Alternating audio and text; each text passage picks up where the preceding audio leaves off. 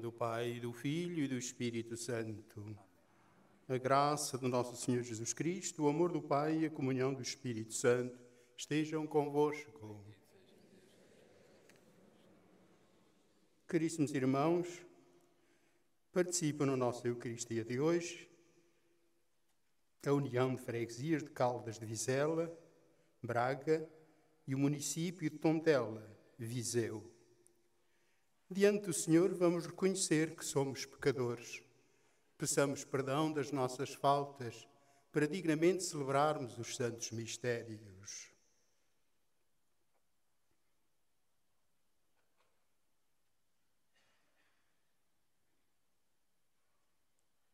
Confessemos os nossos pecados. Confesso a Deus Todo-Poderoso e a vós, irmãos, que pequei muitas vezes por pensamentos, palavras, atos e omissões. Por minha culpa, minha tão grande culpa, e peço à Virgem Maria, aos anjos e santos e a vós, irmãos, que rogueis por mim a Deus, nosso Senhor. Deus Todo-Poderoso, tenha compaixão de nós, perdoe os nossos pecados e nos conduza à vida eterna.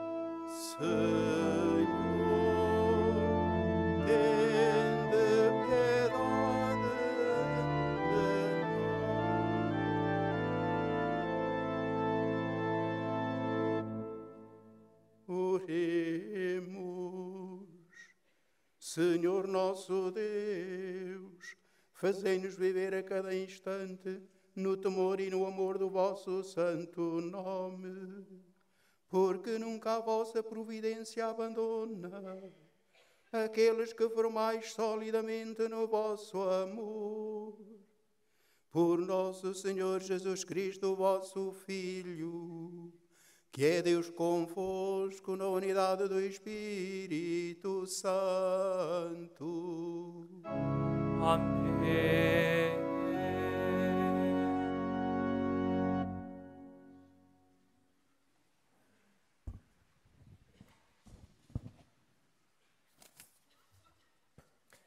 Leitura do livro do Gênesis. Sarai, mulher de Abrão, não lhe dava filhos. Tinha, porém, uma escrava egípcia chamada Agar. Sarai disse a Abrão: Tu vês que o Senhor não me tem deixado ser mãe. Toma para ti a minha escrava. Talvez por ela eu possa ter filhos.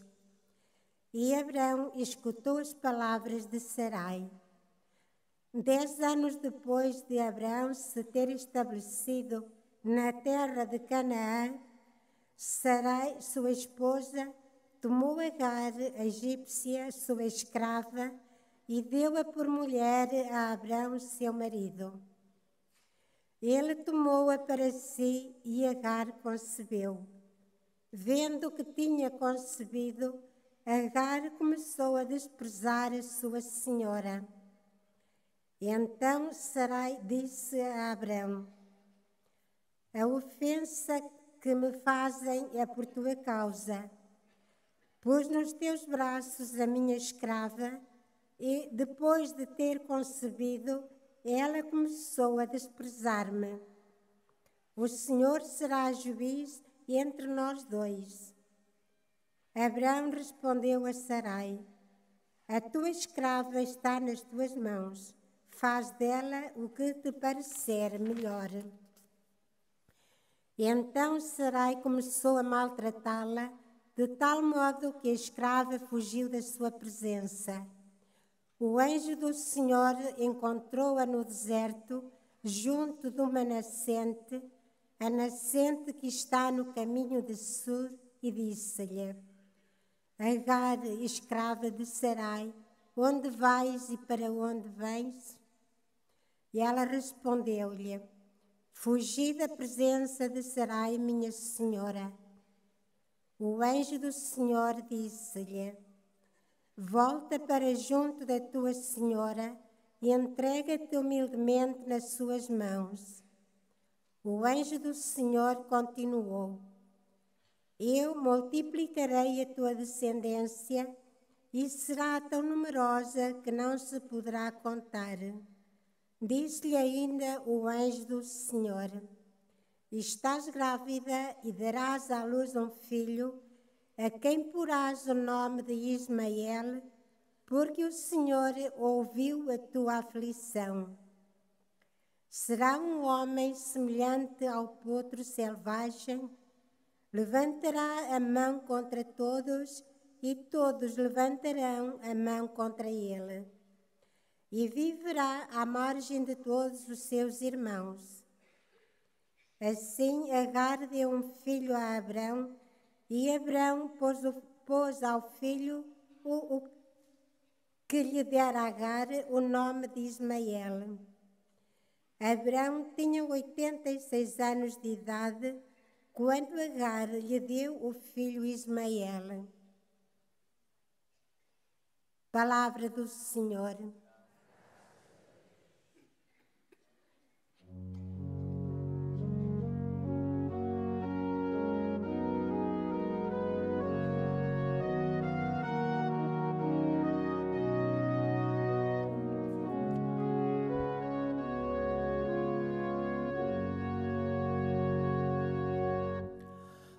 Dai graças ao Senhor, pois Ele é bom.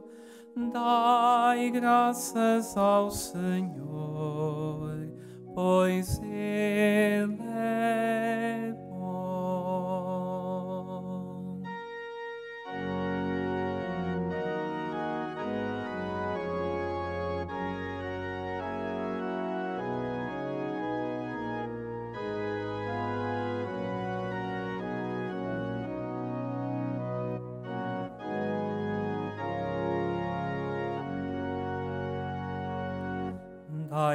graças ao Senhor, porque Ele é bom, porque é eterna a sua misericórdia. Quem poderá contar as obras do Senhor e apregoar todos os seus prodígios?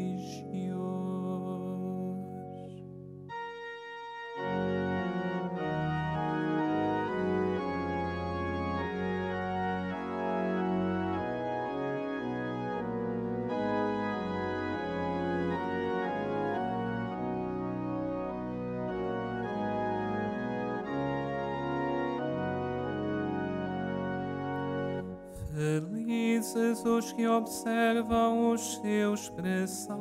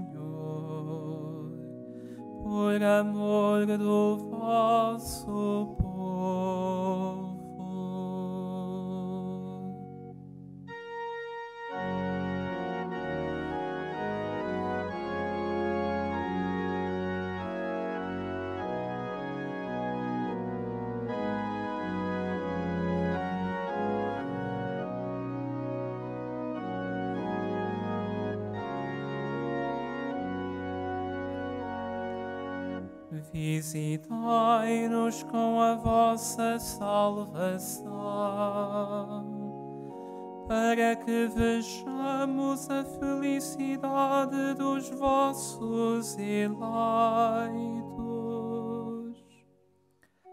Rejubilemos com a alegria do vosso povo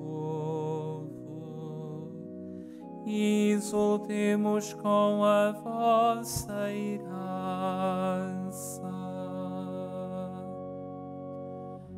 Dai graças ao Senhor, pois Ele é.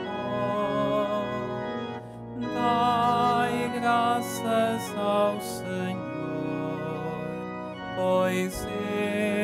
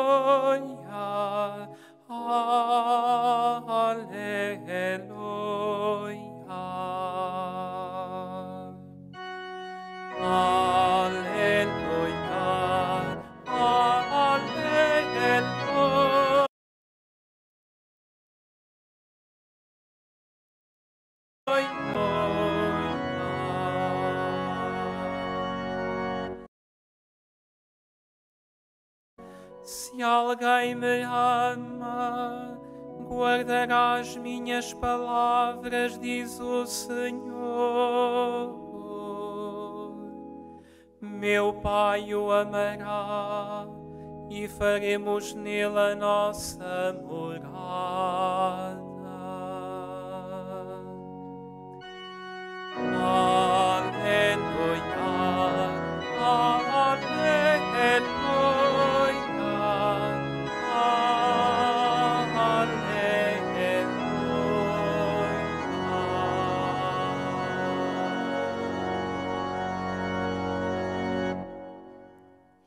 O Senhor esteja convosco.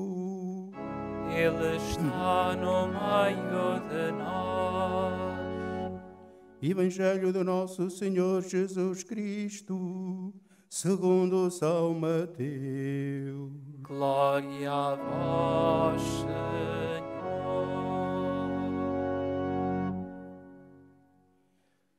Naquele tempo, disse Jesus aos seus discípulos: Nem todo aquele que me diz Senhor, Senhor entrará no reino dos céus, mas só aquele que faz a vontade de meu Pai que está nos céus. Muitos me dirão no dia do juízo: Senhor, não foi em teu nome que profetizamos e em teu nome que expulsamos, expulsamos demónios? E em teu nome que fizemos tantos milagres? Então lhes direi bem alto: Nunca vos conheci. Apartai-vos de mim, vós que praticais a iniquidade. Todo aquele que ouve as minhas palavras e as põe em prática é como o homem prudente que edificou a sua casa sobre a rocha. Caiu a chuva, vieram as torrentes e sopraram os ventos contra aquela casa, mas ela não caiu, porque estava fundada sobre a rocha. Mas todo aquele que ouve as minhas palavras e não as põe em prática é como o homem insensato que edificou a sua casa sobre a areia. Caiu a chuva, vieram as torrentes e sopraram os ventos contra aquela casa. Ela desmoronou-se e foi grande a sua ruína. Quando Jesus acabou de falar, a multidão estava admirada com a sua doutrina, porque ensinava como quem tem autoridade e não como os escribas. Palavra da salvação. Glória a vós, Senhor.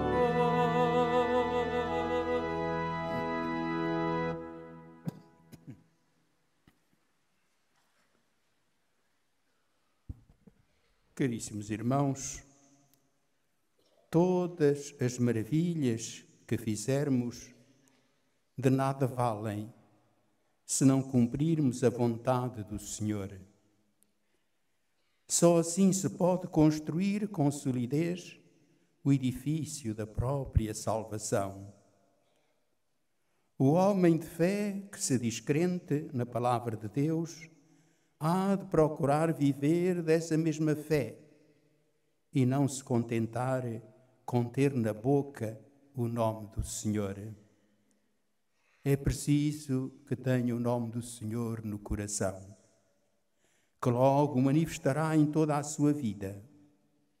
De outro modo, viverá de ilusão, e a oração que porventura venha a fazer não passará de palavras sem grande sentido. Vede, proponho-vos hoje a bênção ou a maldição. A bênção quando obedecerdes aos mandamentos do Senhor, vosso Deus. A maldição, se não obedecerdes. A perfeição para Israel estava contida na lei e manifestava-se na sua observância. Deus concedia a bênção ou a maldição, consoante a obediência ou a desobediência à sua lei. O mesmo não acontece no Novo Testamento, onde se instaura uma nova ordem.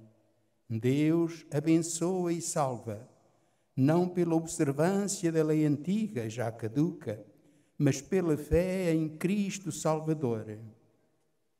São Paulo é o arauto deste novo princípio e proclama: Mas agora é sem a lei que está manifestada a justiça de Deus. A justiça de Deus mediante a fé em Cristo Jesus. A mudança é violenta. Os hebreus, fiéis, cumpridores da lei mosaica, não têm mais direito à salvação que os homens que desconhecem essa lei. Para uns e para outros, a salvação é um dom gratuito, oferecido pela bondade infinita de Deus a todos os que creem em Jesus Cristo. O Evangelho de São João diz também o seguinte: todo aquele que nele crer tenha a vida eterna. E São Paulo esclarece: o homem é justificado pela fé, sem as obras da lei. Deve entender-se que as obras que são excluídas são apenas as obras da lei mosaica e não as boas obras que são fruto da fé em Cristo. Pois o apóstolo explica numa outra carta que para a salvação conta apenas a fé, que atua pela caridade. Quer isto dizer que não é apenas uma adesão intelectual a Cristo, mas sim uma adesão do homem todo, entendimento e vontade, pensamentos e ações. É este precisamente o pensamento de Jesus quando afirma: Nem todo o que me diz Senhor, Senhor entrará no reino dos céus mas sim aquele que faz a vontade de meu Pai que está nos céus.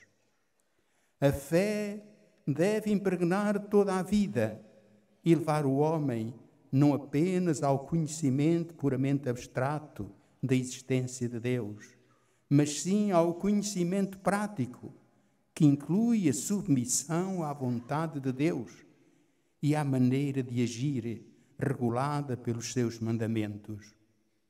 Por isso, aqueles que reduzem a profissão da sua fé à oração, ao apostolado ou a um mero exercício do seu ministério e não a levanta, e não a levam a todos os setores da sua vida pessoal, cumprindo a vontade de Deus, ouvirão um dia: Nunca vos conheci. Somente a fé que se exercita numa adesão plena à vontade de Deus permite ao homem edificar a sua casa sobre a rocha e não teme que ventos e tempestades invistam contra ela. Caríssimos irmãos, a casa é a vida cristã, que cimentada na fé de Cristo e no cumprimento da Sua palavra, pode lançar o desafio a qualquer furacão e ainda ao tempo e à morte, convertendo-se um dia em vida eterna. Assim o expressava São João Crisóstomo nesta bela prece meditativa que vos deixo. A alma do justo não se deixa abater em qualquer perigo, porque está cimentada sobre a rocha viva, isto é, sobre a firmeza da vossa doutrina, ó Cristo Jesus. Na verdade, os vossos preceitos são mais firmes do que a rocha, os quais nos colocam acima de qualquer agitação humana. Que vida, portanto, pode haver mais ditosa que esta? Nem a riqueza, nem a força corporal, nem as glórias, nem qualquer outra coisa deste mundo que nos pode, podem oferecer isso, a não ser só e unicamente a virtude. Amém.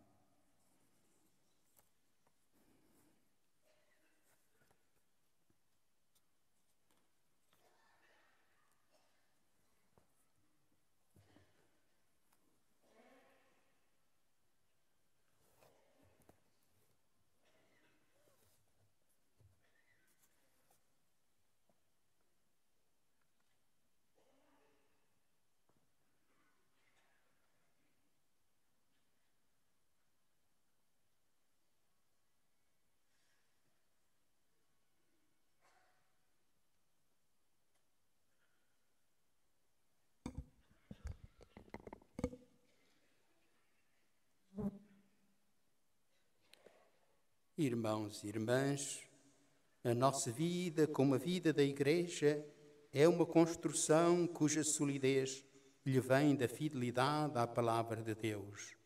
Passamos ao Pai que nos faça crescer nessa fidelidade, dizendo: Deus de bondade, ouvi-nos.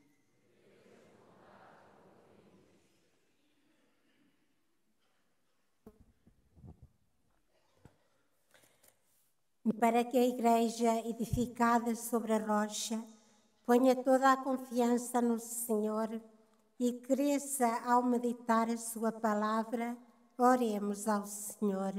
Deus de bondade, ouvi-nos. Para que no novo milénio em que vivemos, seja eliminada toda a espécie de escravatura e reconhecida a dignidade de todos os homens Oremos ao Senhor. Deus de bondade, ouvi-nos. Para que Deus venha em socorro das mulheres pobres, maltratadas e ofendidas, as tome a seu cuidado e as defenda, oremos ao Senhor. Deus de bondade, ouvi-nos. Para que os fiéis que dizem Senhor, Senhor, ponham em prática as palavras que Jesus ensinou e edifiquem a sua casa sobre a rocha, oremos ao Senhor. Deus da bondade, ouvi-nos. Para que a palavra de Deus que escutar e os leve à verdadeira conversão, oremos ao Senhor. Deus da bondade, ouvi-nos. Deus Pai, Deus de bondade, de perdão e de clemência, ajudai-nos a ser sensatos e prudentes. Por Cristo nosso Senhor.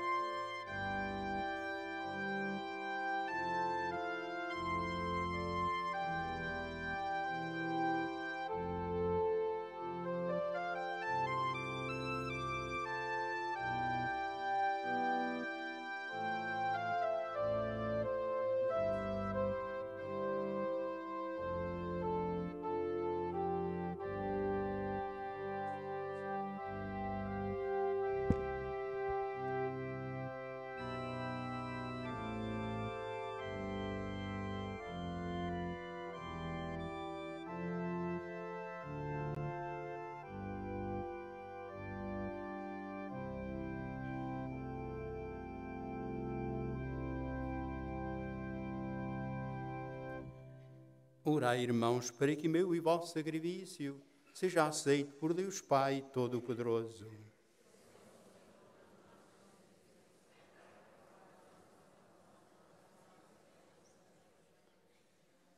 Por este sacrifício de reconciliação e de louvor, purificai, Senhor, os nossos corações, para que se tornem uma oração agradável a vossos olhos, por nosso Senhor Jesus Cristo, o vosso Filho, que é Deus convosco na unidade do Espírito Santo. Amém. O Senhor esteja convosco.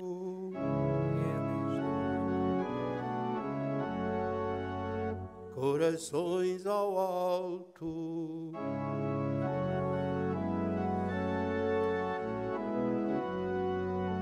Demos graças ao Senhor nosso Deus.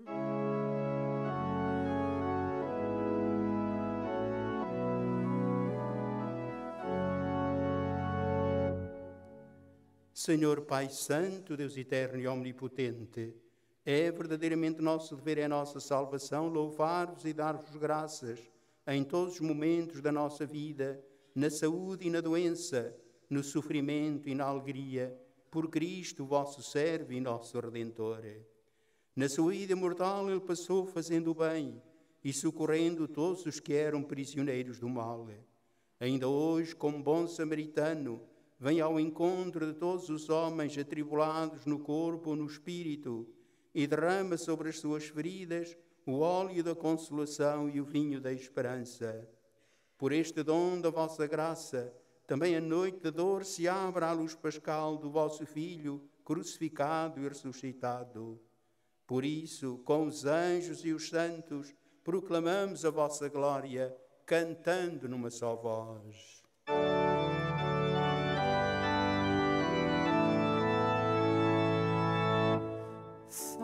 Santo, Santo, Santo, Senhor Deus do universo, o céu e a terra proclamam a vossa glória. Ó nas alturas, bendito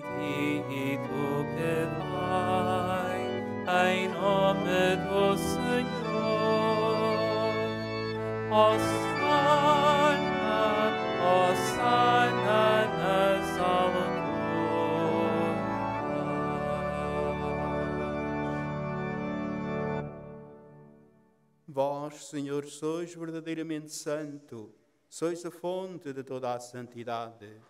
Santificai estes dons, derramando sobre eles o vosso Espírito, de modo que se convertam para nós no corpo e sangue de nosso Senhor Jesus Cristo.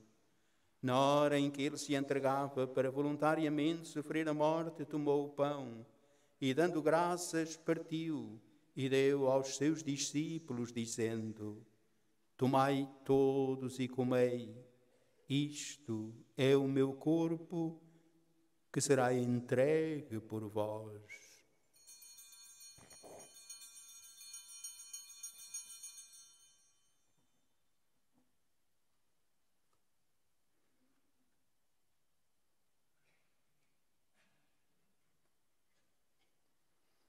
De igual modo, no fim da ceia, tomou o cálice e, dando graças, deu aos seus discípulos, dizendo: Tomai todos e bebei, este é o cálice do meu sangue, o sangue da nova e eterna aliança, que será derramado por vós e por todos para a remissão dos pecados. Fazei isto em memória de mim.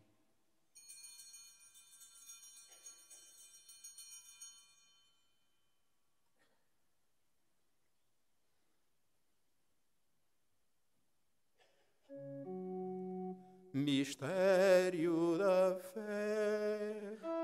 Anunciamos, Senhor, a vossa morte, proclamamos a vossa ressurreição. Vinde, Senhor Jesus.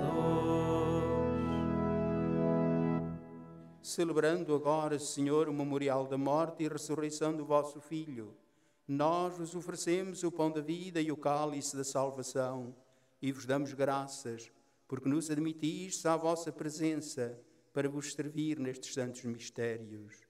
Humildemente vos suplicamos que, participando no corpo e sangue de Cristo, sejamos reunidos pelo Espírito Santo num só corpo.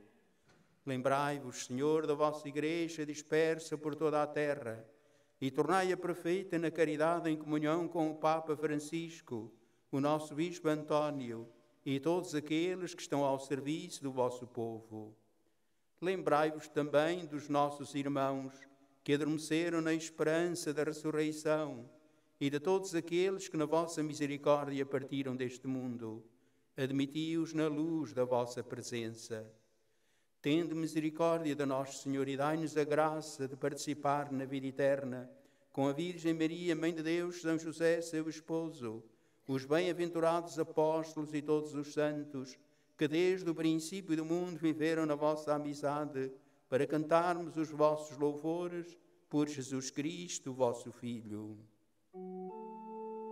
Por Cristo, com Cristo, em Cristo a vós, Deus Pai Todo-Poderoso, na unidade do Espírito Santo, toda a honra e toda a glória, agora e para sempre.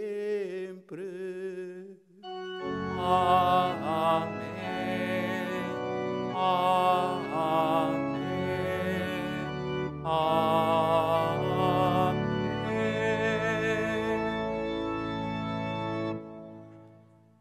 Porque nos chamamos e somos filhos de Deus, ousamos cantar com toda a confiança. Pai nosso que estais nos céus, santificado seja o vosso nome, venha a nós o vosso reino. Seja feita a vossa vontade, assim na terra como no céu. O pão nosso de cada dia nos dai hoje, perdoai-nos as nossas ofensas, assim como nós tem ofendido, e não nos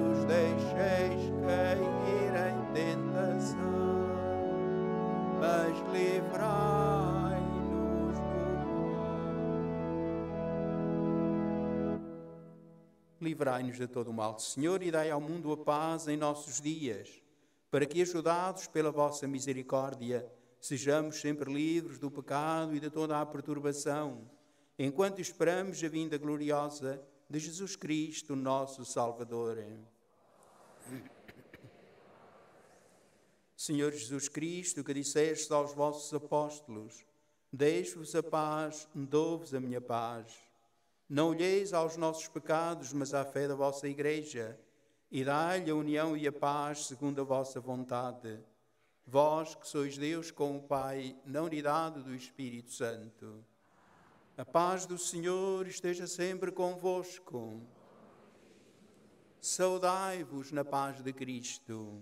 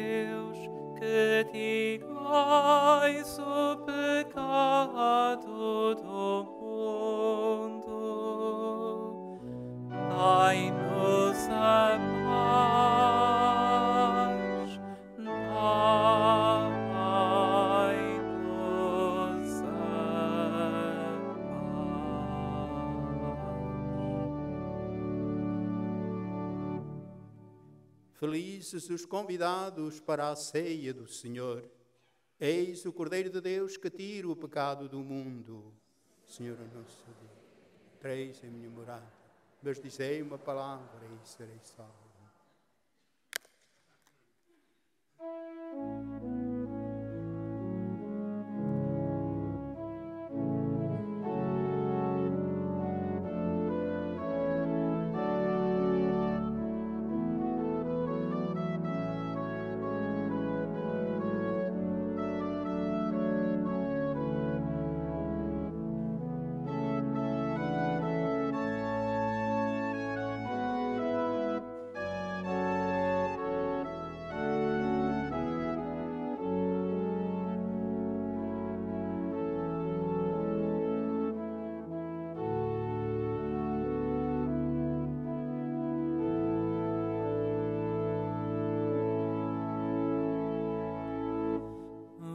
Vós chegais, meus amigos, se fizerdes o que vos mando.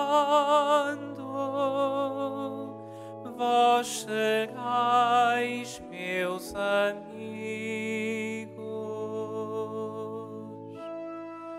Vós chegais,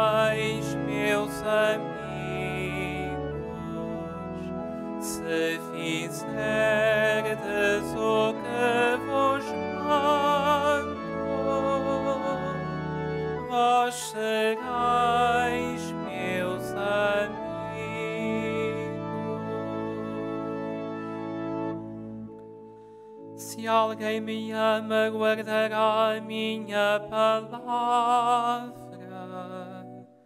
Meu Pai amá-lo-á, vida morada.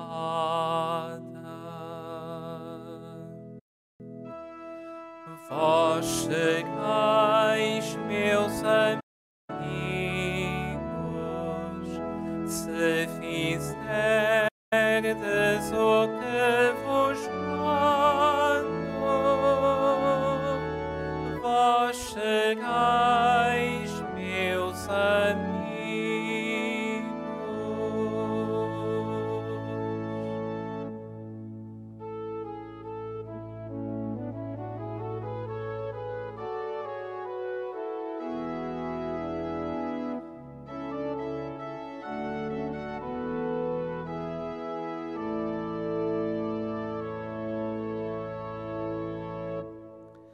Permanecei em mim, e eu permanecerei em vós.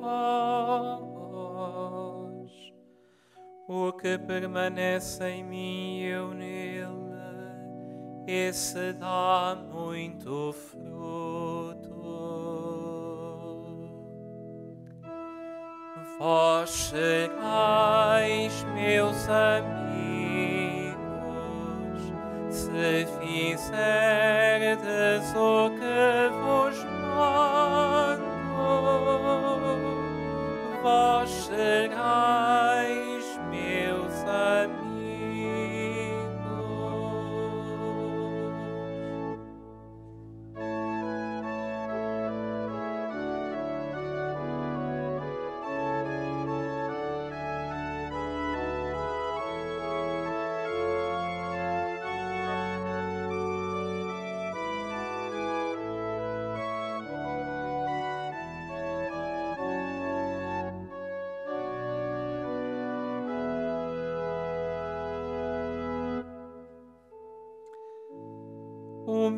mandamento é este: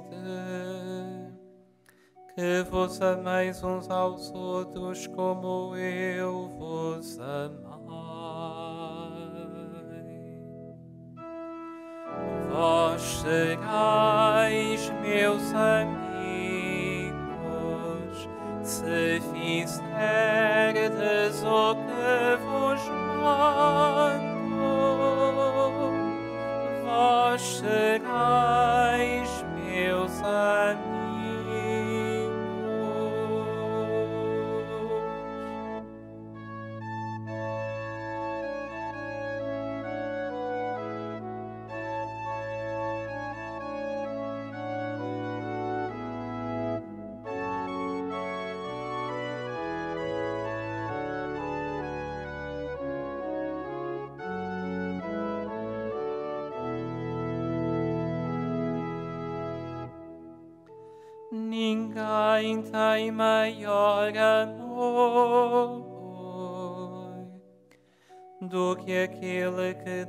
vida pelos seus amigos.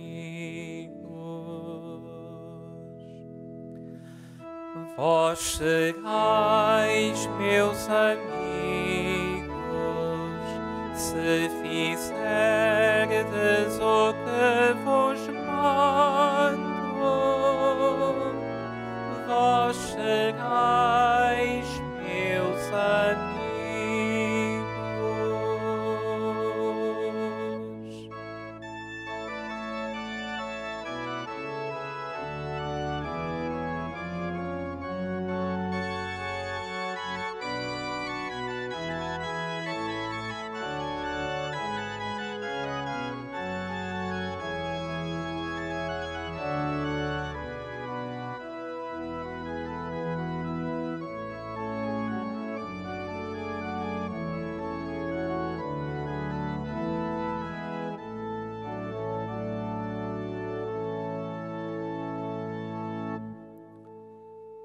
Digo-vos isto para que a minha alegria esteja em vós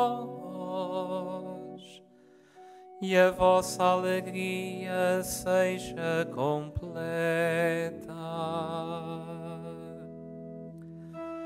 Vós sereis meus amigos se fizerdes o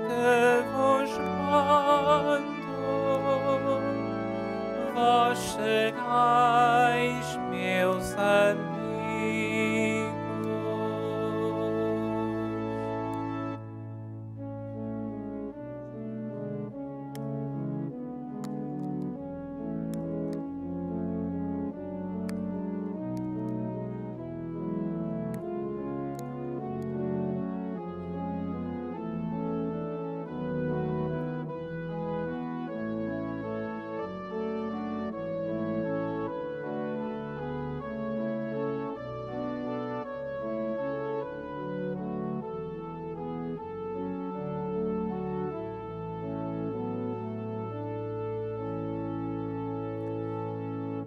Se Deus nos amou tanto, também nos devemos amar uns aos outros. Vós sereis meus amigos se fizerdes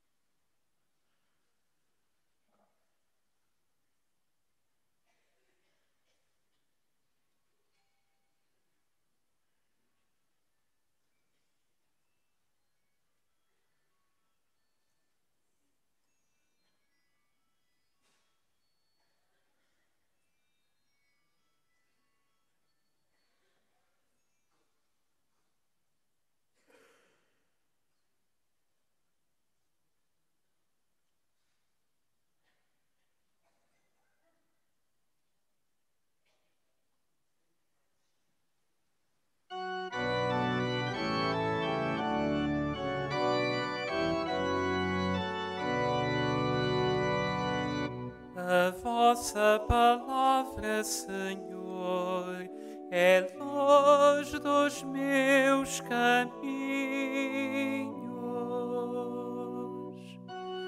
A vossa palavra, Senhor, é luz dos meus caminhos.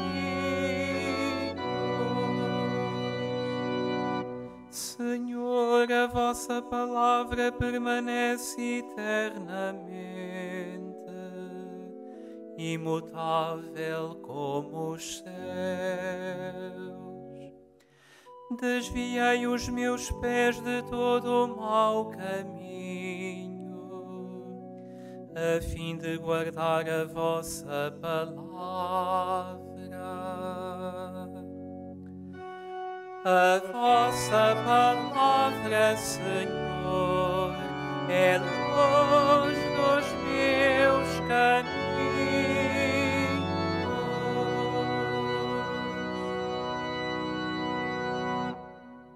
Oremos, Senhor nosso Deus, que nos renovastes pela comunhão do corpo e do sangue de Cristo.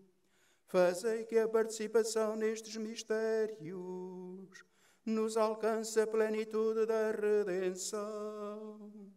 Por nosso Senhor Jesus Cristo, vosso Filho que é Deus convosco na unidade do Espírito Santo. Amém. Venço agora os objetos religiosos que quereis levar convosco. Oremos. Bendito sejais, Senhor, fonte e origem de todas as bênçãos, que sempre promoveis a piedade sincera dos vossos fiéis. Por intercessão da bem-aventurada Virgem Maria e dos santos Francisco e Jacinta Marto, assisti benignamente os vossos servos e fazei que, levando consigo estes símbolos de fé e piedade, se vão transformando à imagem do vosso Filho, Ele que é Deus convosco, na unidade do Espírito Santo. Desejamos a todos os vossos irmãos uma santa peregrinação e um feliz regresso aos vossos lares. O Senhor esteja convosco. Ele está no meio de nós. Abençoe-vos, Deus Todo-Poderoso, Pai, Filho e Espírito Santo. Amém.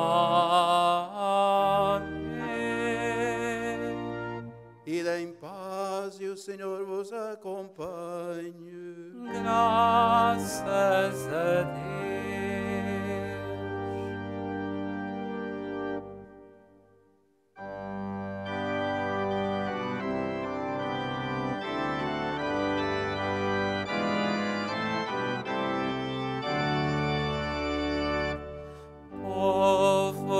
Somos, ó Senhor,